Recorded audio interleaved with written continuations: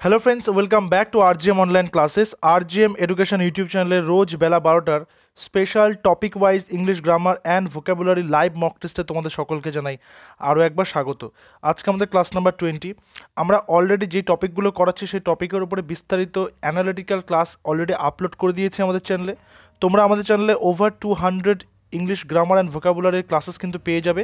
তার জন্য তোমাদেরকে আমাদের চ্যানেলের যে প্লেলিস্ট রয়েছে, সেই প্লেলিস্টে গিয়ে সেটা একটু দেখতে হবে। প্লেলিস্টে গেলে তোমরা প্রত্যেকটা টপিক ওয়াইজ ক্লাস কিন্তু পেয়ে যাবে। তো আজকে আমরা এখানে ন্যারেশন চেঞ্জ থেকে বাছাই করার প্রশ্ন নিয়েছি, যেগুলো লাস্ট টেন ইয়ার্সে বিভিন্ন রাজ্যের টেট পরীক্ষার পাশাপাশি অন্যান্য চাকরি পরীক্ষাতে বারংবার আসতে দেখা গেছে। অর্থাৎ লাস্ট টেন ইয়ার্সের ইংলিশ গ্রামারের যে সমস্ত প্রশ্ন উত্তরগুলো রয়েছে, সে প্রত্যেকটি প্রশ্ন উত্তরকে আমরা কিন্তু সলভ করছি এখানে। আজকে আমরা টপিক নিয়েছি ন্যারেশন চেঞ্জ এবং ন্যারেশন চেঞ্জের আরও দুটো ক্লাস কিন্তু এরপরে তোমরা পেয়ে যাবে। তোমরা যারা এখনও পর্যন্ত আমাদের সোশ্যাল মিডিয়া প্ল্যাটফর্মে যুক্ত হওনি R G M education official সেখানে তোমরা যুক্ত হয়ে যেতে পারো। সেখানে তোমরা বিভিন্ন রকমের কুইজ ফ্রি মক টেস্টের পিডিএফ এবং অন্যান্য সমস্ত নোটিফিকেশানস কিন্তু পেয়ে থাকো। এবং তোমাদের প্রত্যেকের তো আরজিএম এডুকেশন ইউটিউব চ্যানেল রয়েছে, যেখানে job notifications mock test study materials এবং টপিক রিলেটেড ক্লাসেস তোমরা পেয়ে থাকো। তো আজকে সেটের প্রথম প্রশ্ন কি রয়েছে? প্রথম প্রশ্ন দেখো, যেহেতু ন্যারেশন চেঞ্জ বললাম ডিরেক্ট স্পিচ ইনডিরেক্ট স্পিচ এই কনসেপ্টটা তোমাদের প্রত্যেকেরই ক্লিয়ার রয়েছে, যারা পুরোনো ক্লাসগুলো দেখেছ। He says I am always busy এখানে এই যে বাইরে একটি ভার্ব দেখতে পাচ্ছ সেইজ বাইরে বলতে ইনভার্টেডের বাইরে, আর ভেতরে একটি ভার্ব থাকে। এই যে ইনভার্টেডের বাইরে ভার্বটা রয়েছে, এটাকে বলা হচ্ছে রিপোর্টিং ভার্ব আমি আর ভি লিখে রাখছি রিপোর্টিং ভার্ব আর এই পুরো অংশটা যেটা ইনভার্টেডের মধ্যে রয়েছে, সেটাকে বলা হয় রিপোর্টেড স্পিচ ঠিক আছে? একটা রিপোর্টিং ভার্ব একটা হচ্ছে রিপোর্টেড স্পিচ এবং মনে রাখবে, এই ন্যারেশনের ক্ষেত্রে রিপোর্টিং ভার্বটা সব থেকে শক্তিশালী এলিমেন্ট কেন বলছি? কারণ রিপোর্টিং ভার্বের হাতে এত ক্ষমতা রয়েছে যে নিজের নিয়ম অনুযায়ী, নিজের শক্তি অনুযায়ী ও কিন্তু রিপোর্টের স্পিচের ভেতরের যে সেন্স টেন্স রয়েছে, যেই ভার্বের ফরমেশন রয়েছে সেটাকে চেঞ্জ করতে পারে।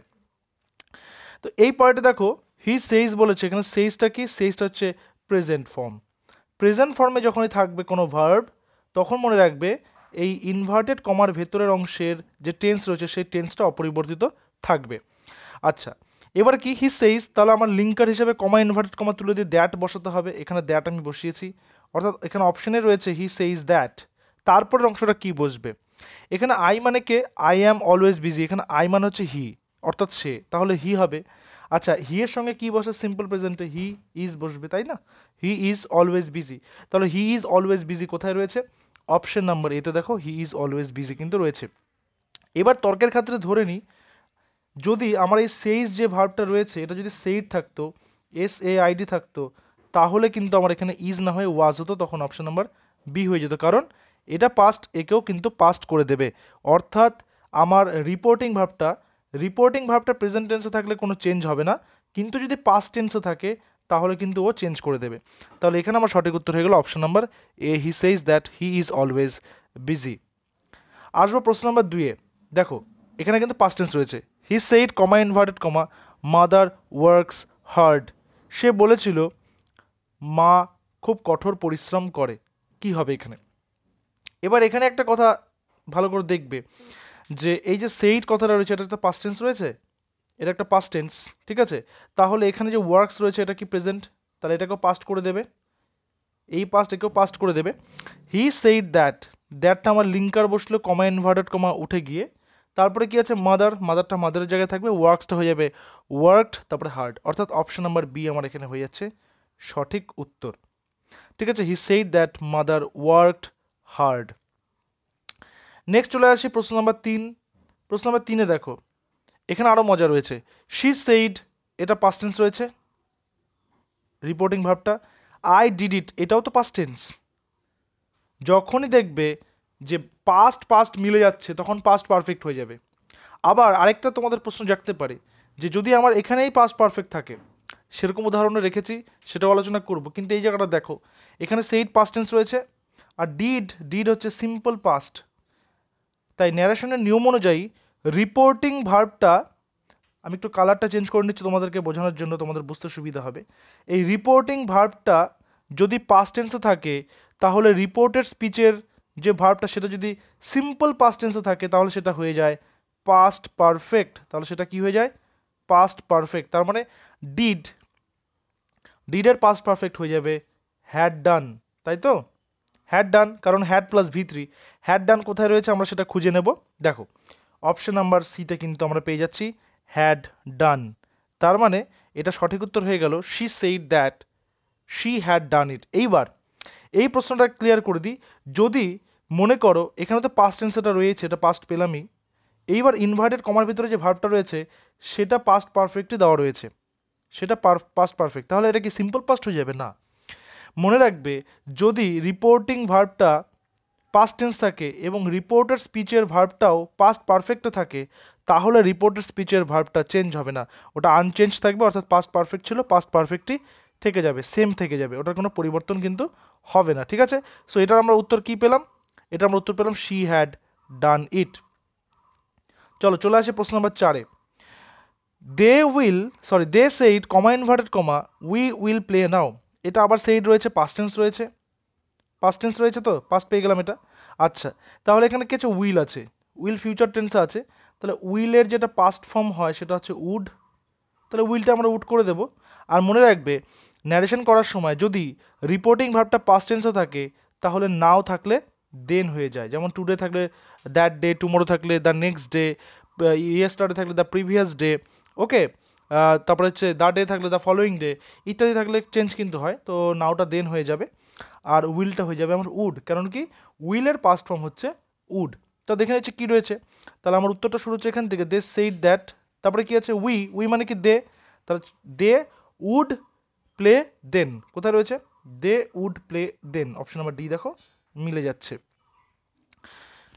দেখো, এই মক টেস্টগুলোকে প্রশ্ন ধরে আলোচনা করছি, তা তো ঠিকই। কিন্তু এই যে ন্যারেশনের প্রত্যেকটা যে নিয়ম আমি বলছি, প্রত্যেকটা নিয়মের কিন্তু বিস্তারিত আলোচনা আমরা অলরেডি করেছি। আমাদের চ্যানেলে কিন্তু সব আপলোডেড রয়েছে।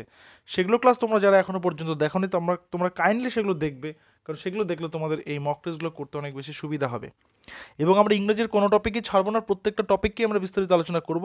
নোটিফিকেশনটা বেরিয়ে যাওয়ার পরে আমরা মিক্সড মক টেস্ট চালু করব, যেখানে তোমরা প্রত্যেকটা টপিক থেকে প্রশ্ন পাবে। তখন আমরা জেনেও যাব যে ইংরেজি থেকে মোট কতগুলো প্রশ্ন আসবে পরীক্ষাতে।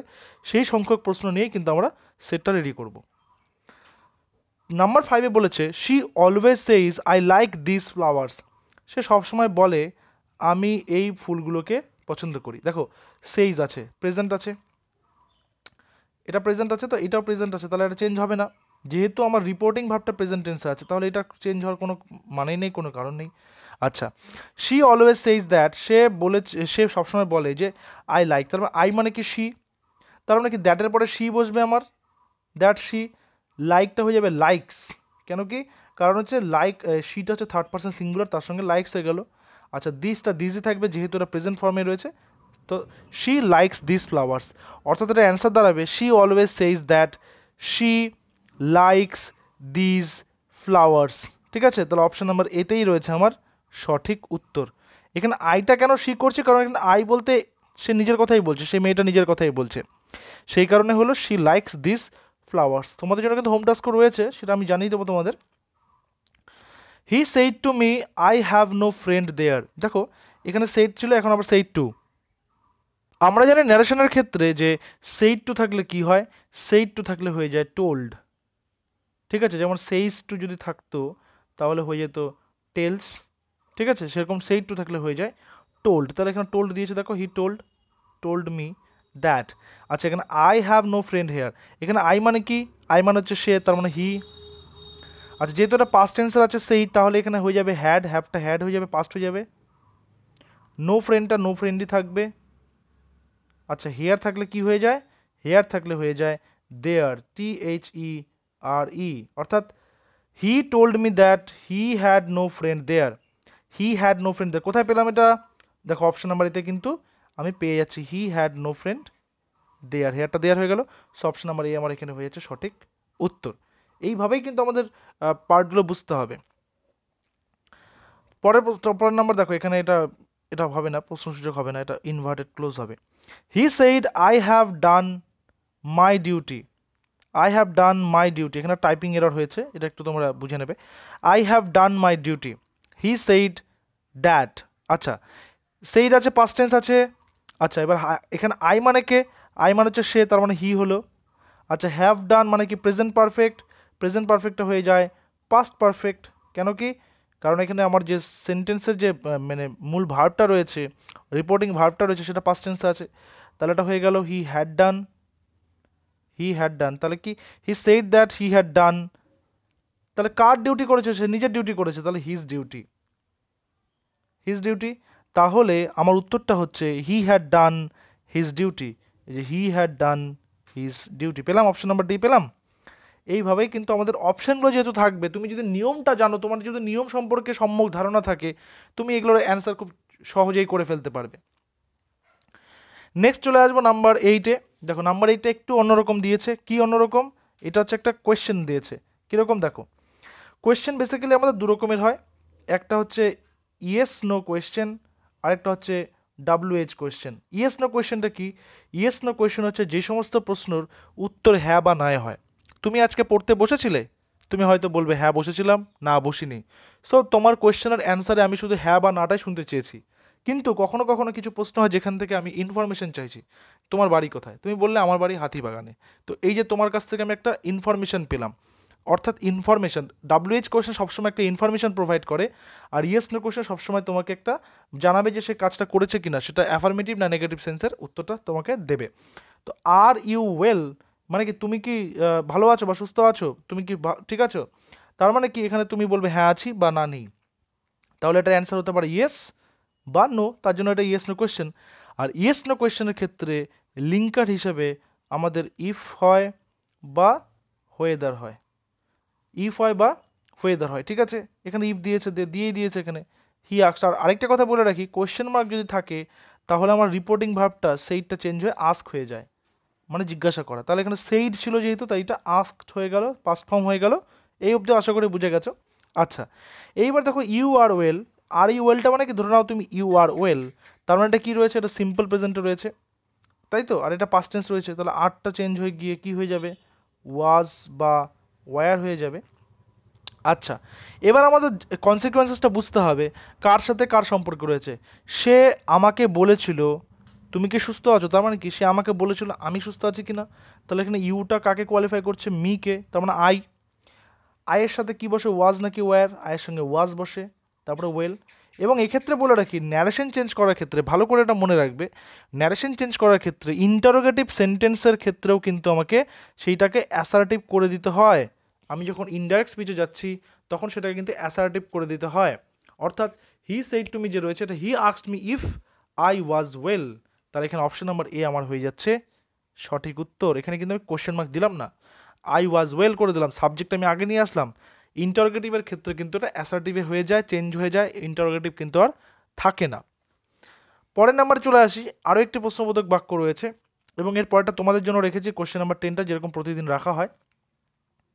You said to me why have you come তুমি আমাকে বলেছিলে যে তুমি কেন এসেছ? তুমি কেন এসেছ?